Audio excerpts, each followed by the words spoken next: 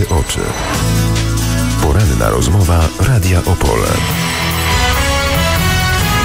Dzień dobry panie marszałku. Dzień dobry panu, dzień dobry państwu. Jak będą wyglądały Europejskie Dni Dziedzictwa na Opolszczyźnie? E, Europejskie Dni Dziedzictwa, inauguracja tych dni zaczyna się 12 września w sobotę w Skorgoszy o godzinie 13 i tam będzie inauguracja tych dni. E, poprzez, poprzez cały wrzesień, we wrześniu e, w 41 miejscach w całym województwie odbędzie się ponad 100 różnego rodzaju wydarzeń kulturalnych, spotkań, konferencji, zwiedzanie zabytków z przewodnikiem, duże wydarzenia, oczywiście bezpłatne I to, I to będzie we wrześniu. Zwieńczeniem tych dni e, będzie podsumowanie 5 listopada w Opolu właśnie, z czego się bardzo cieszę. Będzie ogólnopolskie podsumowanie Europejskich Dni Dziedzictwa. U nas. U nas będzie filharmonie, duża uroczystość. Z całej Polski zjadą e, przedstawiciele samorządów, e, koordynatorzy tego projektu i będziemy podsumowywać te, te Dni Europejskie dwa, 2015 roku. Te dni są reklamowane billboardami. Na billboardach widzimy taki napis, takie główne hasło Tak. utracone dziedzictwo. O jakie dziedzictwo chodzi? E, utracone dziedzictwo, szanowni państwo, panie redaktorze, mm, to jest to, co, co, co z naszej przestrzeni znika. Są takie miejsca, są takie zabytki, który, do których już w zasadzie powrócić nie będziemy mogli. Tu chociażby z tytułu wojen, zniszczeń wojennych, e, czy spowodowane zmianą granic, ale też i dewastacją. Przykładem tego na przykład jest e, pokój, park w pokoju zdewastowany, który, który, który jest zapomnianym. Jeżeli takie miejsca nie będą pokazywane i przypom przypominane, to one znikną z takiej przestrzeni e, obiektów kulturalnych, obiekt, ob, obiektów zabytkowych. I to trzeba pokazywać i, i, i przypominać. Również to, czy, to, czym możemy się pochwalić w tej chwili, e, bo to w tej chwili to mamy, ale nie jest powiedziane, że to będzie na, na zawsze. To trzeba, to trzeba pokazywać i przyzwyczajać ludzi przede wszystkim do odwiedzania zabytków, naszych rodzimych, odwiedzania muzeów, bo Tutaj Instytut Dziedzictwa mm, Narodowego, Narodowy Instytut Dziedzictwa zrobił takie badania, z których wynikało, że połowa Polaków nie, zwiedza, nie zwiedziła w ostatnim czasie żadnego obiektu zabytkowego. No i to jest takie zatrważające. Właśnie te dni e, mają, Europejskie Dni Dziedzictwa mają po prostu przybliżyć zabytki e, dla mieszkańców. To jest święto zabytków. Europy. Dlaczego zaczynamy akurat w Skorogoszczy? Co tam jest do obejrzenia? E, Skorgoszczy, znaczy tak, wybór tego miejsca nie był zależny od samorządu województwa. Koordynatorem jest Narodowy Instytut Dziedzictwa, ale Skorgoszcz to jest właśnie taka wieś, e, gdzie, to, gdzie to utracone dziedzictwo bardzo dobrze, to hasło utracone dziedzictwo bardzo dobrze się wpisuje. Skorgoszcz kiedyś była miastem.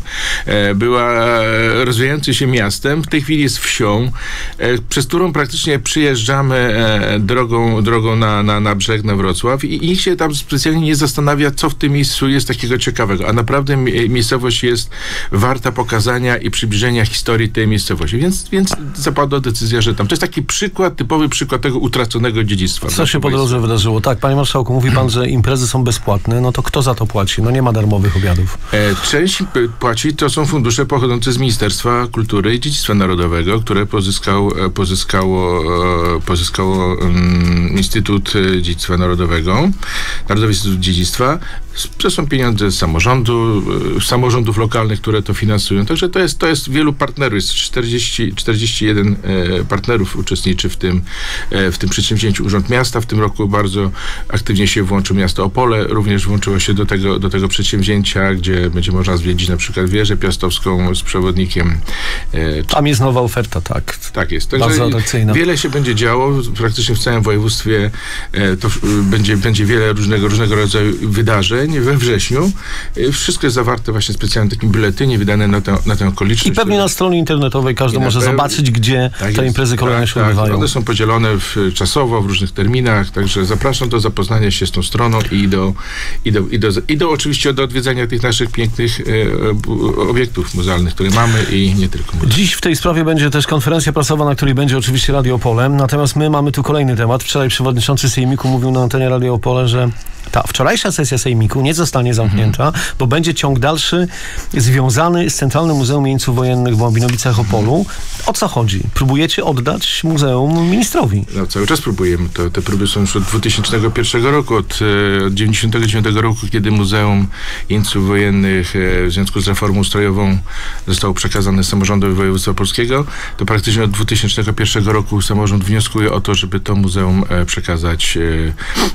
pod zarząd i finansowanie Ministerstwa Kultury i Dziedzictwa Narodowego. No bo w końcu centralne muzeum, To jest nie muzeum tylko lokalne. centralne, to jest muzeum, które ma swoją działalność prowadzi o zasięgu międzynarodowym i krajowym, to nie jest muzeum regionalne i cały czas uważamy, że ono powinno mieć wsparcie właśnie minister, ministerstwa. Po drugie, powinno mieć wsparcie również ministerstwa też dlatego, że to jest muzeum martyrologiczne, o tym nie możemy zapominać, które ono, ono nie generuje żadnych przychodów chociażby ze sprzedaży biletów, czy organizowania, różnego rodzaju imprez, tak na przykład Muzeum Siły Polskiej, gdzie, gdzie może dodatkowe środki na swoją działalność pozyskiwać. Tu to muzeum jest finansowane wyłącznie z pieniędzy samorządu województwa i ostatnio z, e, z takich dotacji celowych Ministerstwa Kultury 500 tysięcy w ubiegłym roku udało nam się pozyskać. Dlatego w związku z tym co jakiś czas są podejmowane próby zwracania uwagi na to ministrowi, żeby jednak e, podjął taką decyzję i zastanowił się nad tym, czy to muzeum nie powinno być e, zarządzane prze, przez Ministerstwo e, Kultury i Dziedzictwa Narodowego. I teraz mamy kolejne podejście, po I, prostu. te, I teraz próbujemy jeszcze raz e,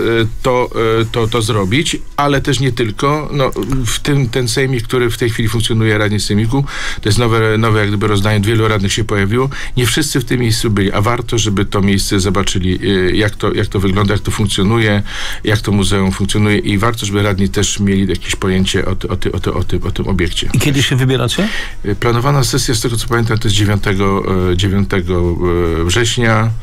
E, 9 października, przepraszam, o godzinie chyba 11 się to No, będzie czyli za zaczynało. miesiąc. Tak, tak. Także będzie okazja zobaczyć to muzeum i, i, i, porozmawiać również e, o, o przyszłości tego, tego, tej, tej instytucji. Chcemy zaprosić na, na tą sesję przedstawicieli Ministerstwa Kultury i Dziedzictwa Narodowego i, i z nimi porozmawiać. I chociaż, chociaż nie ukrywam, że myśmy, ja już osobiście w, w, wielokrotnie w, w ciągu tego ostatniego czasu byłem w tej sprawie w ministerstwie. Na razie niestety nie udało się nic w tej sprawie e, takiego znaczącego osiągnąć. Oprócz Mizeria finansowa. środków. Tak jest. Panie Marszałku, na jakim etapie jest konkurs na dyrektora Teatru Dramatycznego w Opolu? Mm, Jesteśmy teraz, e, w ubiegłym tygodniu odbyło się posiedzenie komisji, które e, dokonało weryfikacji zgłoszonych kandydatur pod względem formalnym. Do konkursu zostało dopuszczonych 14 osób. Jutro o 8 rano, 14 osób mówię. No właśnie, straszny tłum. To naprawdę długa kolejka. Du, duża, długa kolejka. I jutro o 8 rano zaczynamy przesłuchania kandydatów i mamy zamiar, mamy zamiar zrobić to w czwartek ze względu na to, że komisja jest dziewięcioosobowa, a są członkowie komisji, którzy są z Warszawy, z Poznania i, i prosili mnie o to, żeby pokusić się o to i spróbować W jeden dzień. w jeden dzień to zrobić. Jest to naprawdę duże wyzwanie dla nas, dlatego że przypominam sobie miesiąc temu wyłanialiśmy dyrektora Wilharmonii, gdzie było siedmiu kandydatów i zajęło nam to e, praktycznie od 8 do chyba do 22 obradowaliśmy. No a tutaj mamy dwa razy więcej, większą ilość kandydatów, więc y, będzie, będzie to nie lada wyzwanie dla komisji. Ale spróbujemy. Jeżeli się nie uda, mamy zabezpieczony również e, dzień piątkowy na to, żeby jeszcze się spotkać. No panie marszałku, no czego oczekujecie od tego nowego dyrektora? Wizji artystycznej czy wizji oszczędności? Jedno i drugie. To musi być spójny program. Oj, to niełatwo będzie połączyć. No z koncepcji, które zostały przedstawione przez kandydatów, niektórzy, niektórzy takie próby podjęli i to dosyć, dosyć, dosyć e, e, ciekawie wygląda i, i, i, tak mówiąc kolokwialnie spina się, więc jest to możliwe do połączenia. Tutaj większość, niektórzy kandydaci skupili się również na pozyskiwaniu dodatkowych środków zewnętrznych e, i to, i to mnie cieszy. Pokazali źródła finansowania nie tylko samorządowe, ale również z innych, z innych źródeł unijnych, różnych fundacji, które, które, z których można pozyskać środki na funkcjonowanie e, teatru. No i to, i to, jest, to jest dobre. No a czego oczekujemy? No chcielibyśmy, żeby to jednak osoba była z dużą osobowością również, z dorobkiem artystycznym, e, która będzie miała... Mm, jak gdyby jej osoba przełoży się, jej osobowość przełoży się na funkcjonowanie teatru i daje taki jakby nowy oddech dla tej instytucji. Te, tego oczekujemy. No. A panie marszałku, a będzie takie większe wyjście do publiczności na przykład w sezonie letnim? Bo takie wątki też się pojawiały Tak, wcześniej w dyskusji o Tak, funkcjonowaniu placówek kulturalnych. te- Teatr w mojej ocenie przez wiele ostatni czas był teatrem jakby zamkniętym e, w sobie, sam w sobie, nie wychodził na zewnątrz. Tutaj e, zwracaliśmy, w, e, zresztą sami kandydaci to zauważyli. Czyli teatr dla ludzi, nie tylko dla krytyków. tak jest. To w tych projektach, które oni przedstawiają, jest wiele pomysłów ciekawych, wyjścia na zewnątrz, prezentacji teatru na zewnątrz, również współpracy z naszymi jednostkami kultury, z Filharmonią, czy też z Teatrem Lalki Aktora, które jest e, miejskie. Także bardzo ciekawe niektóre są koncepcje. Komisja będzie to oceniać. E, Myślę, że uda nam się wyłonić tego kandydata jak najlepszego, a też dlatego mi zależy, żeby jak najszybciej to zrobić, dlatego że dla pana Koniny kontrakt się kończy do końca września.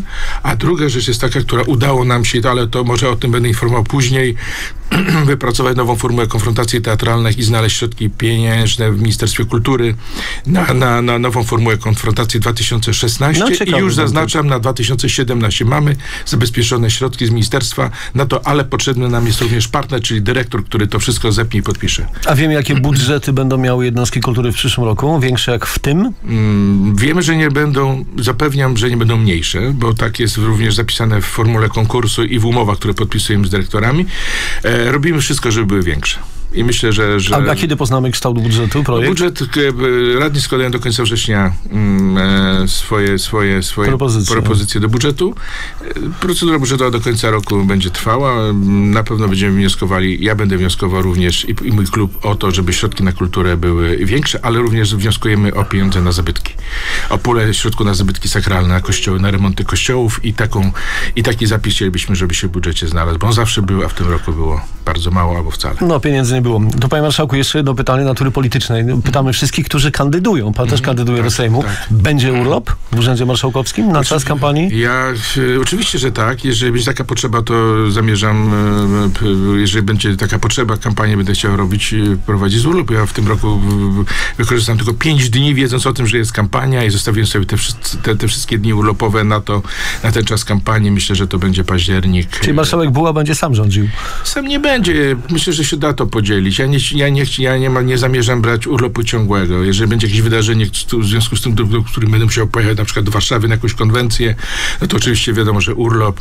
A raczej planuję e, kampanię swoją robić po godzinach pracy i, i myślę, że to jest do pogodzenia również z pracą, którą wykonuję w tej No chwili. to czekamy na 15 września. Wtedy będą ostatecznie listy zarejestrowane i kampania ruszy pełną parą. Naszym gościem był dzisiaj Grzegorz Sawicki, członek zarządu województwa opolskiego. Dziękuję za rozmowę. Dziękuję również.